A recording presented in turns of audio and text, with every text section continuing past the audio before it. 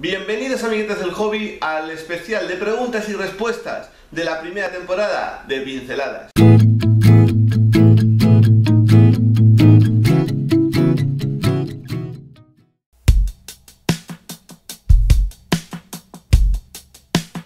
La verdad que en realidad debería llamarse el especial de preguntas y respuestas para un domain, porque a pesar de que he insistido y he dejado en varias ocasiones pues una publicación animando a que me mandéis preguntas, me realicéis, pues yo sé, cuestiones de diferente índole sobre esta primera temporada de pinceladas, en verdad el único que se ha animado y que me ha dejado una buena lista de, cuestiones a resolver eh, es un domain. Pero bueno, a lo que hay, vosotros sabréis. Por suerte, un domain ha dejado una serie de preguntas bastante interesantes que vamos a contestar a continuación.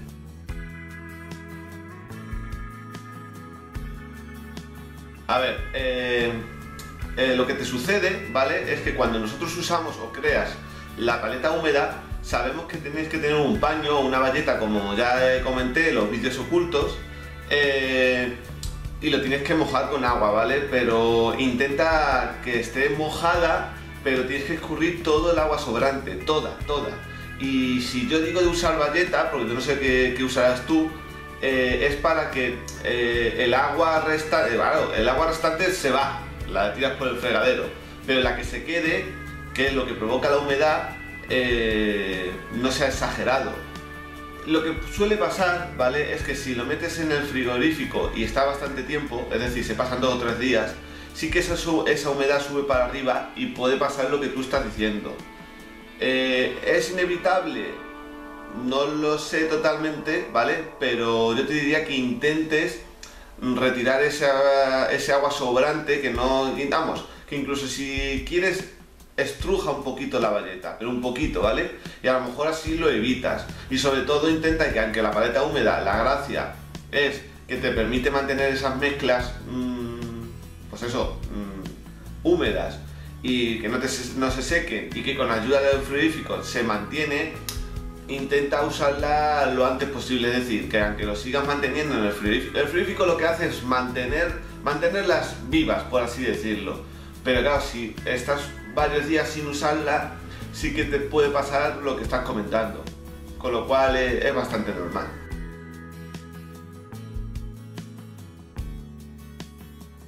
A la, hora de limpiar el pincel en el vaso, en el recipiente con agua que tengamos, eh, yo el consejo principal que te doy es que a la gires, ¿vale? Hagas este, este movimiento de muñeca y evites lo que tú estás comentando, eh, golpear el pincel contra las paredes. ¿Por qué? Porque que son golpes, eh, yo qué sé, de un impacto... Nah, que no tiene... Vamos, que el impacto que tú das con el pincel en el vaso no es exagerado, pero aún así puedes perjudicar al pincel haciendo pequeños abollones que a lo mejor no son perceptibles a la vista, pero conforme va pasando los días y el uso de ese pincel, se puede deteriorar. Yo algunas veces lo hago y le meto golpes sin querer. Eso es que es algo inevitable porque son costumbres, yo creo, feas, que tomamos desde el primer momento que nos iniciamos en el mundo del, del mundo de la miniatura, de la faceta artística. Sin embargo, te aconsejo que si puedes evitarlo es mucho mejor.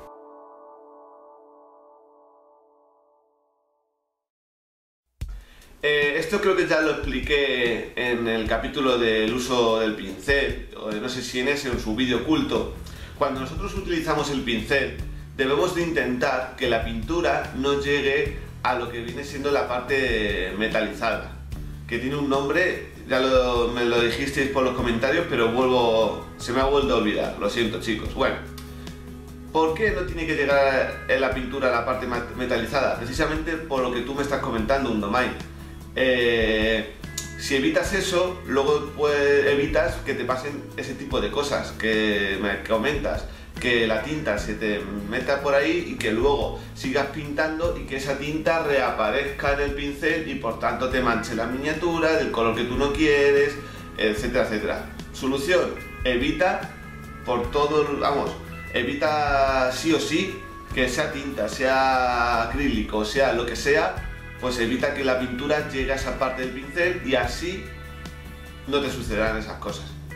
Y bueno, a mí claro que me ha sucedido al principio, sobre todo porque aquí nadie nace aprendido, pero a día de hoy ya esas cosas no me pasan.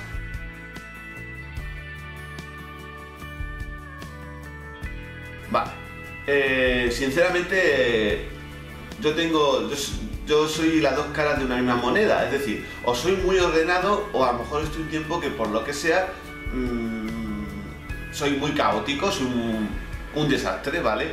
Pero sí es cierto que relacionado con la pregunta anterior, lo lógico y lo que yo hago es que los pinceles siempre tienen que estar bien protegidos con su capucha, ¿vale? Y poco abajo. ¿Por qué? Porque a pesar de que lo limpiemos de una forma especial para evitar que nuestras cerdas eh, se queden rígidas y se partan, etcétera, etcétera, eh, toda esa pintura, todo ese jabón que le aplicamos, si lo dejamos poco arriba, al final se van a ir a la parte metalizada y vamos a la larga a cometer el mismo fallo, ¿vale? Igual de gordo que si lo manchásemos de pintura. Entonces los pinceles siempre con las cerdas poco abajo.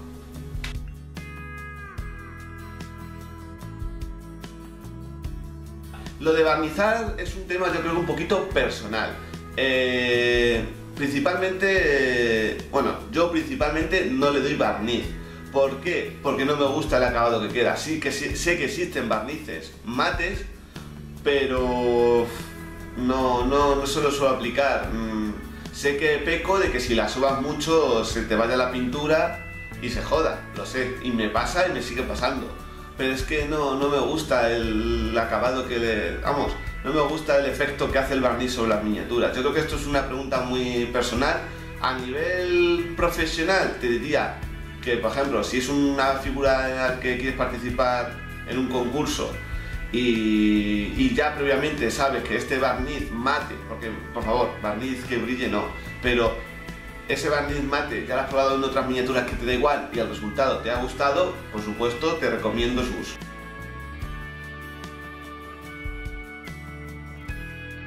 Eh, y en cuanto a la hora de imprimar, eh, depende, depende. Si es una figura que me guste o una figura en, plan concurso, pues la, la hago aerógrafo porque así yo controlo mejor las ráfagas y bueno, pues lo puedes ir haciendo poco a poco y no de manera exagerada, evitas eh, que se te eliminen ciertos detalles de la figura. Si es a nivel de juego, spray, eso lo tengo muy claro. Y pincel, por favor. ¿Por qué preguntas eso? No, teniendo spray, teniendo aerógrafo, el pincel.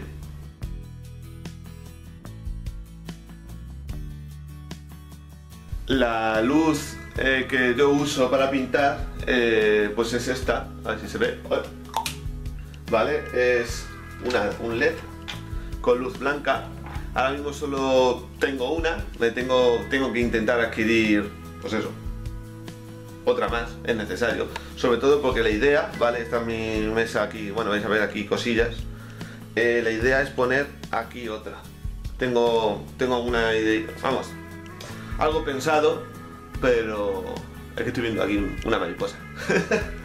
pero bueno, esa es la luz que yo suelo usar. Eh, ¿Por qué? Porque la luz amarilla, eh, la blanca creo que cansa menos la vista, eh, visualizan mucho mejor los detalles de la miniatura. Por ejemplo, esta que tengo encima es luz amarilla, sí, es luz amarilla. Y se nota, se nota por la cara. Y es más realista. Digamos que la luz blanca se asimila más a la luz del sol.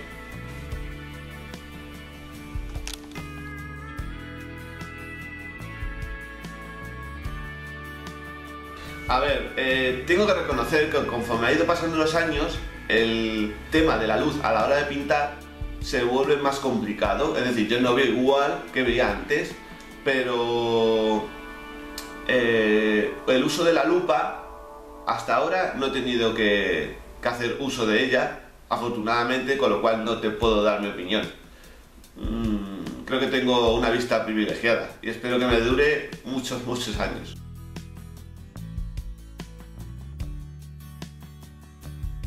¿Qué suelo hacer mientras pinto? Pues yo creo que pintar.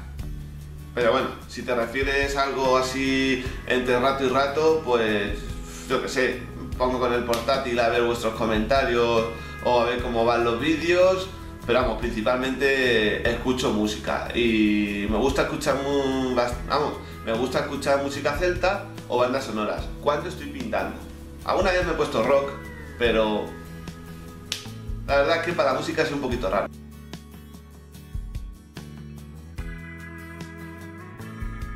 El incidente más horrible que me ha pasado. Eh, horrible, a ver, pues el típico que se te cae un bote de pintura y la lías parda y, te cabrea bastante, además a lo mejor es un bote de pintura que has comprado recientemente, todo ese tipo de cosas. No sé, es que así más horrible es como, no sé, cuando pinto me lo paso bien y me pasan cosas divertidas.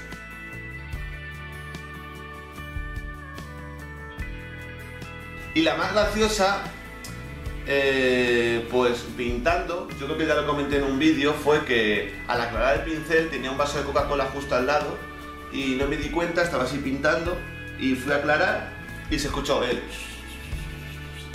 Y no sé, me quedé así y bueno, estaba con un grupo de amigos y nos empezamos a reír y desde entonces dicen que mi truco realmente para pintar como pinto se reside en que uso veladuras de Coca-Cola.